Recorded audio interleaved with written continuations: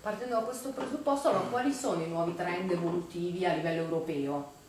ad esempio, sempre guardando come le applicazioni di cui ho parlato precedentemente modificano l'incremento di, eh, di banda, se prendiamo ad esempio due punti che sono Francoforte e sono Amsterdam, che sono due punti in Europa importanti dove vengono eh, molti degli interscambi del traffico peer-to-peer, -peer, quindi fra, diciamo, eh, fra utenti, vediamo che negli ultimi sei mesi il traffico eh, nel nodo di Amsterdam aumenta del 20% di mese su mese e a Francoforte del 25%, quindi vuol dire che siamo su incrementi eh, di traffico nell'ordine del 300% all'anno, quando solo 12 mesi fa parlavamo di incrementi del 100% all'anno o poco superiori.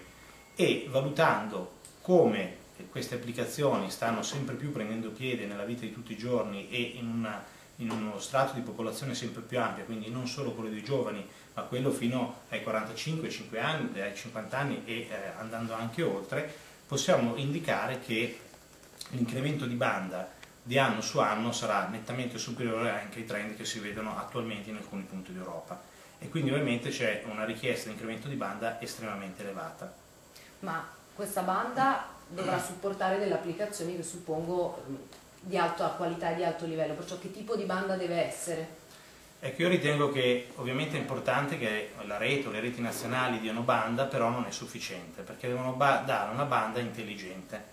Cos'è l'intelligenza della banda, cos'è l'intelligenza della rete? Diciamo il concetto, eh, se potrebbe essere da un punto di vista tecnologico abbastanza complesso nella sua realizzazione, da un punto di vista funzionale è molto semplice, cioè l'intelligenza è quella cosa che permette alla rete di poter, con un concetto di rubinetti aperti e chiusi, fornire quelle risorse della rete di banda e di qualità di servizio che servono all'utente in un certo momento, in un certo luogo, con, un certo, con, una certa modalità di collegamento alla rete e di poter garantire la qualità di servizio. Anche qui che cos'è la qualità di servizio? È una cosa molto semplice perché nella rete, come abbiamo detto, viaggiano informazioni video, viaggiano informazioni voce, viaggiano informazioni dati, viaggia la sicurezza e viaggiano applicazioni di information technology. È importante che la rete, oltre che dare le, eh, la banda appropriata ad ognuna di queste applicazioni, ovviamente tratti nel modo adeguato queste informazioni. L'Italia eh, da qui ai prossimi dieci anni in che modo può arrivare a raggiungere questi trend?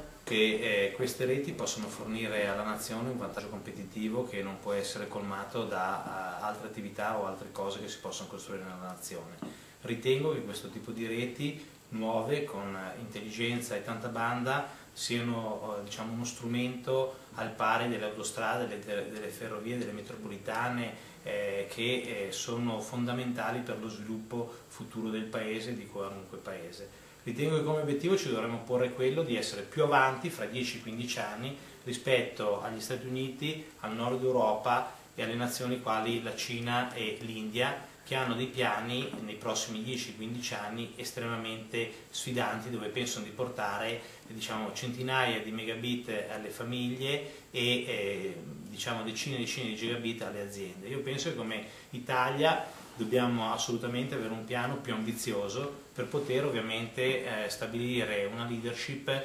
nella, nel valore aggiunto e nella competitività estremamente avanzato se vogliamo veramente eh, rimanere nello scenario mondiale.